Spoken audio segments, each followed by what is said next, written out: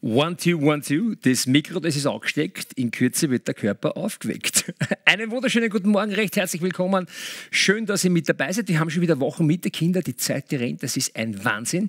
Ja, und ich würde sagen, damit wir keine Zeit verlieren, ja, fangen wir gleich an mit dem Trainieren. Mein Gott, heute rennen es wieder die Reime. Unglaublich. So.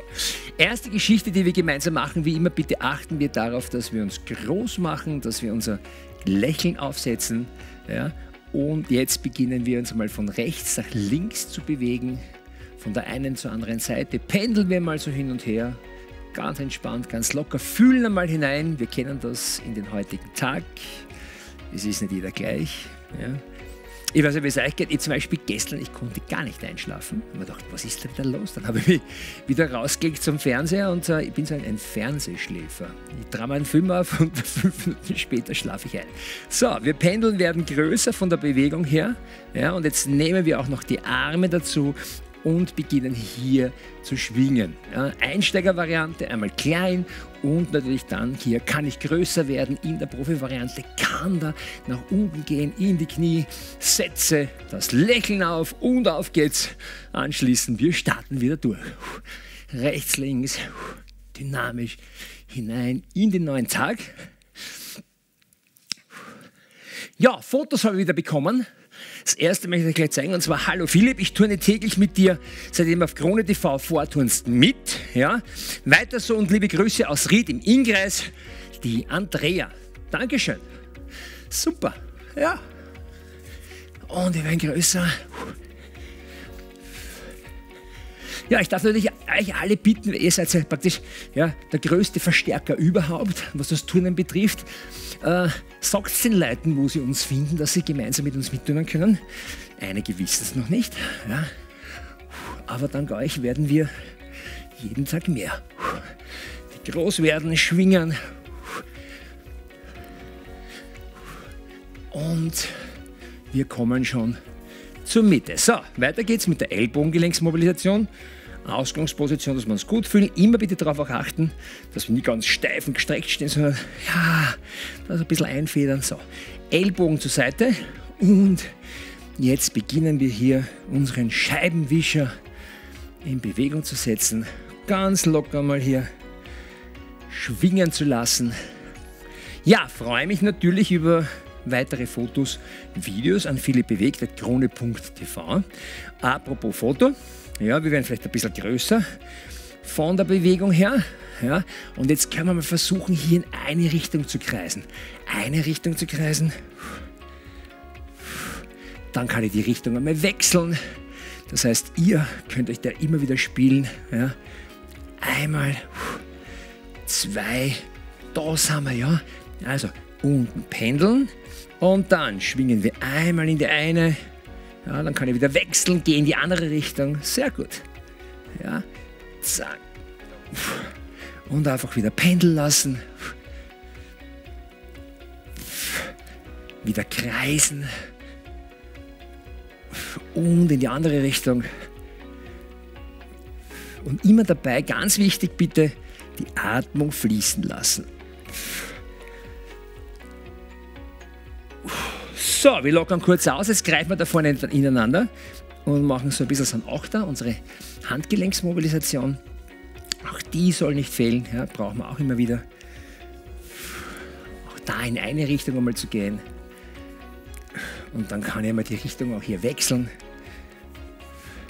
Und dann greifen wir schon an, dann wird es schon ein bisschen intensiver werden. Ja. Also, einmal in die eine und dann wieder in die andere Richtung zu gehen. Ja, da haben wir es da schon sehr, jawohl. Zack, bam, bam, bam, bam. Ja, super. Dankeschön.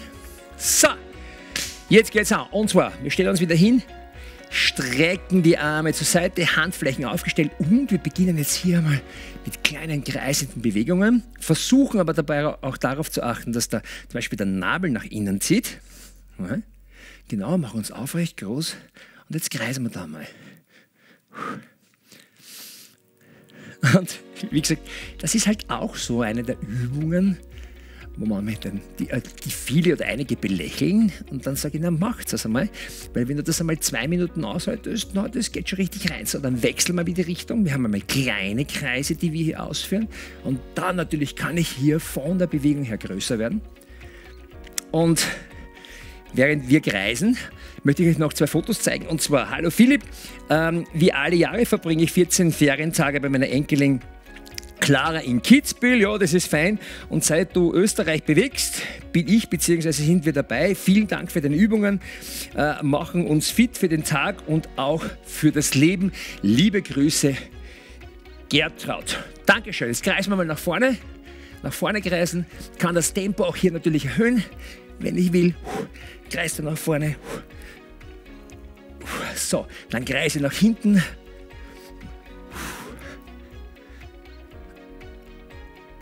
Jawohl. So, ganz kurz auslockern. Und wir gehen schon wieder mit den Armen nach oben. Denn jetzt geht es darum, hier nach außen zu schieben. Ja? Wer eine Pause dazwischen benötigt, macht diese. Und keine Sorge, auch ich spüre, ich spüre es. ja, ist nicht so ohne. So, nach außen. Zack. Einfach nach außen schieben.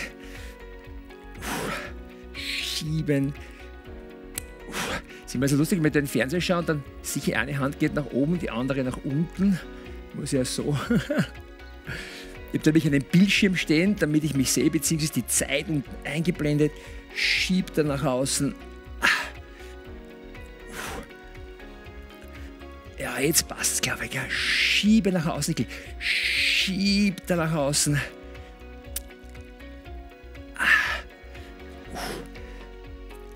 ich bin, glaube ich, ein bisschen verzogen, oder? Wenn wir schauen, ja genau, so gehört Ja, äh, am Donnerstag bin ich beim Schmali.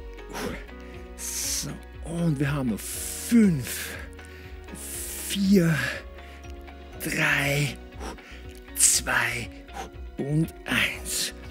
So, wir lockern aus. Und zwar, nächste Geschichte. Wir gehen in die leichte Grätsche. Ja. Jetzt gehen wir nach unten, stützen uns hier ab Klassiker. Nehmen wir eine Handfläche, gehen da praktisch in die Öffnung hinein, versuchen hier nachzublicken und jetzt ziehen wir hier nach oben und versuchen hier unseren Daumen, unsere Handfläche zu folgen mit der Einatmung und kommen mit der Ausatmung hier wieder nach unten. Ziehen nach oben, atmen ein und kommen mit der Ausatmung wieder nach unten. Nach oben ein und mit der Ausatmung wieder nach unten. Ja, gut mobilisiert starten wir wieder hinein in den Tag. Hier nach oben ziehen.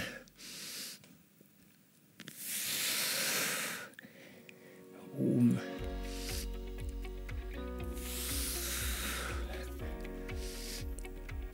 Und noch vier. Drei. Zwei. Und der letzte auf der einen Seite. So, Wechsel, andere Handfläche und auch da wieder hinein. Zieh nach oben wieder, einatmen und bei nach unten ausatmen. Ein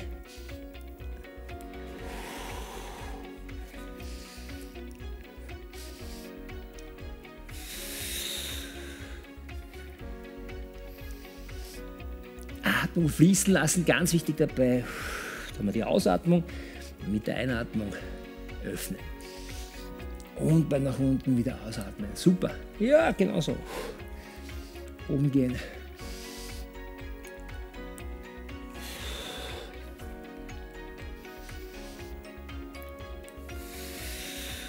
Und wir haben noch vier.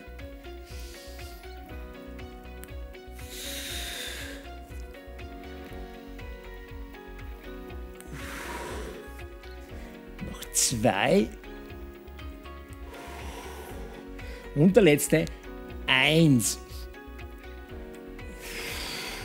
So, jetzt richten wir uns wieder auf, können so stehen bleiben und Hände Richtung Hüfte. Beginnen wir Daumen ganz locker zu kreisen, die Körpermitte Ja. Auch da wieder immer, ich sage immer wieder sanft beginnen. Ja. Hineinfühlen, spüren, ganz wichtig. Und ihr werdet, auch, ihr werdet auch sehen, also wirklich mit der Zeit bekommst du ganz einfach, wenn du dich regelmäßig bewegst, bekommst du ein ganz anderes Körpergefühl. Ja. Das ist, dann kann man mal die Richtung wechseln. Und dann natürlich kann ich hier, wenn ich merke, dass es gut geht, kann ich da größer werden von der Bewegung her. So, jetzt wechseln wir die Richtung. Ja, und das sind diese einfachen Sachen. Ja. Ich kann mir Ihnen zu Beginn damals von der größten Bewegungsgruppe, ein Füße damals geschrieben und gesagt, er findet es super. Es muss nicht alles immer hyper, mega und super, super toll sein. Ja, es sind die Basics, die es ausmachen. Und wenn du die regelmäßig machst, wird es einfach gut. So, und jetzt versuchen wir hier einmal einen Achter zu zeichnen, dort wo es geht in eine Richtung. Und natürlich kann ich jetzt hier auch die Richtung wechseln. Aber bitte dort nur, wo es geht. Alle anderen bleiben bei der kreisenden Bewegung. So, jetzt mal Spur breiter. Und jetzt bewegen wir uns einmal zur einen Seite und dann rüber zur anderen Seite. Das heißt, da zum Beispiel stabilisieren wir, da innen haben wir die Dehnung. Gehen wir da rüber, stabilisieren, bleiben kurz, gehen wieder rüber. Andere Seite, auch da bitte immer sanft beginnen, lasst euch einfach Zeit. Rechts, links. Nie übertreiben, gell? Nicht bam, volle Maschine. Na, langsam.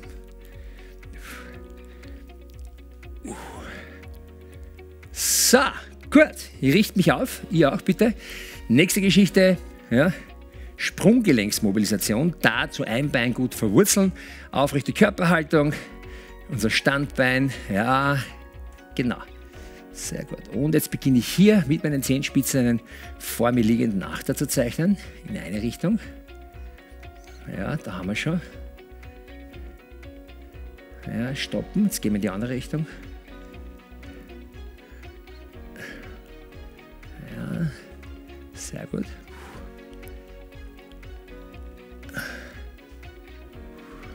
So, wir wechseln unser Standbein.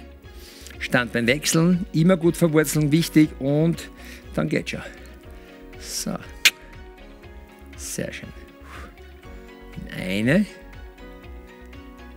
unterlich in die andere Richtung. Zack. Jetzt muss ich selber überlegen, ja, genau. Oder in die andere. Dankeschön. So, jetzt machen wir das Ganze mit unserem Knie, Hüftgelenksmobilisation, wieder gut stabilisieren und da beginne ich klein und versuche auch hier einen Achter zu zeichnen, mit meinem Knie praktisch. Beginne klein und werde dann von der Bewegung her größer. Ja? Also dann größer werden, so gut es geht, hoppala, genau. Das Gleichgewicht schulen wir damit auch. So, und dann kann ich einmal kurz anhalten und die Richtung wechseln.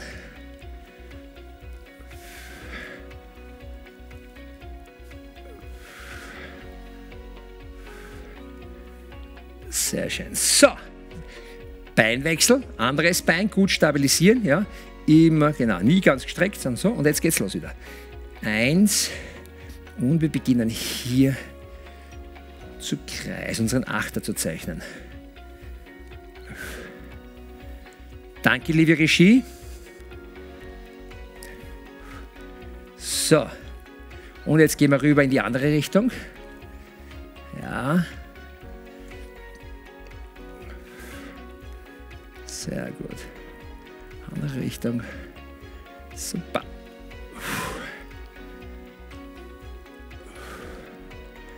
Ja, da kann schon sein, dass es ein bisschen wackelt, aber ist ganz okay. So, wir lockern aus und gehen gleich über ins Gehen am Stand. Ja? Das heißt, wir nehmen ein bisschen Schwung auf, Tempo, marschieren einmal dahin. Das heißt Einstieg für die nächste Übung. Ja? Jetzt ziehen wir die Knie schon ein bisschen weiter nach oben und zusätzlich bitte ja, drücken wir uns jetzt praktisch ab. Das heißt, jetzt ziehen nach oben und drücken uns hier ab. Ja? Nach oben ziehen. Und dann werden wir uns drauflegen. Das heißt, wir werden dann nachher noch in die koordinative Geschichte ein bisschen reingehen. Jetzt mal nur abdrücken, dort wo es geht, einfach versuchen und der Einsteiger macht es halt langsam. Ja? Und dann die Profis ziehen da richtig schön weit nach oben.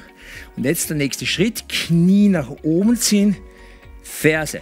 Ja, jetzt kommt das Koordinative zur Geltung. Knie nach oben, Ferse. Nach oben, Ferse. Ferse.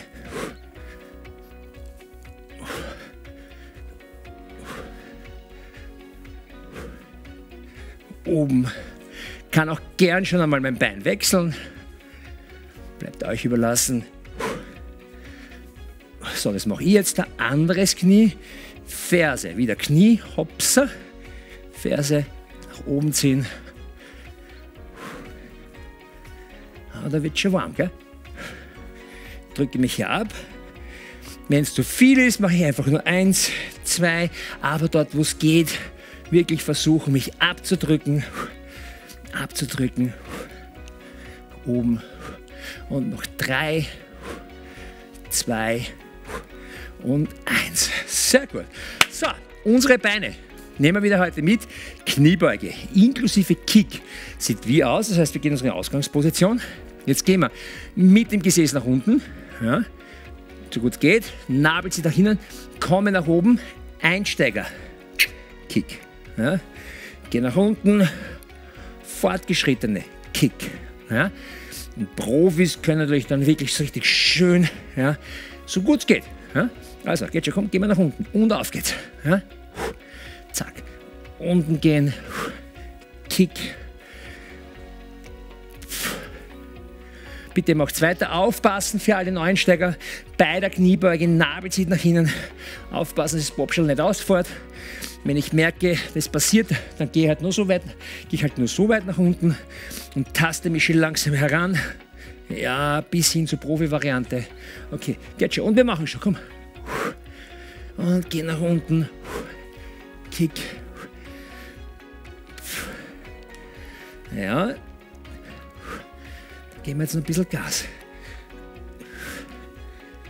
Aber Gas heißt jetzt nicht unbedingt, dass wir die Geschwindigkeit erhöhen. Denn warum, sage ich immer, wir achten mehr auf die Qualität der Übung.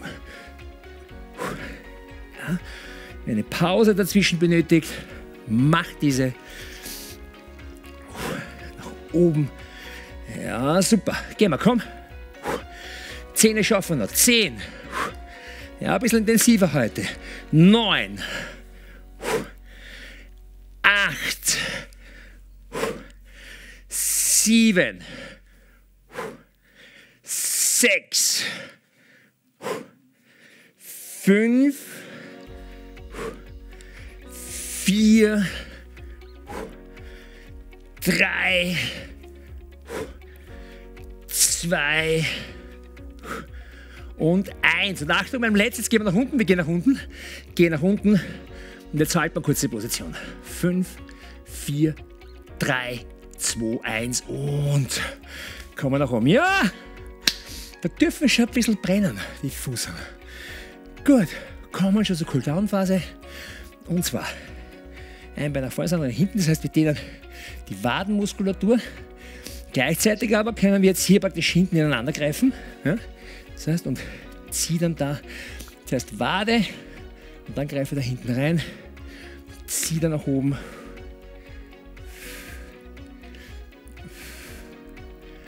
Ja, cool. Sehr schön.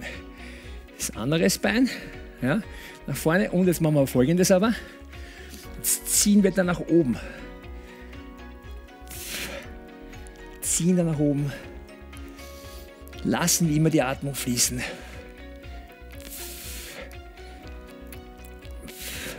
So, jetzt können wir noch bei der Wadenmuskulatur zum Beispiel den unteren Anteil dehnen, indem wir da das Knie nach vorne schieben. Haben wir den unteren Anteil mit dabei. Kann auch gerne nach hinten greifen. Wechselt das Bein. Jetzt erst mal so, jetzt schieben wir da nach vorne. Kann auch da dann nach oben ziehen. Ja. Super. Ne? war optimal der Einstieg in den heutigen Tag. Ich wünsche euch einen wunderschönen. Lasst die Sonne rein und wie immer heißt es heute zur Wochenmitte, trinken, trinken, trinken. Die Zelle, die muss schwimmen.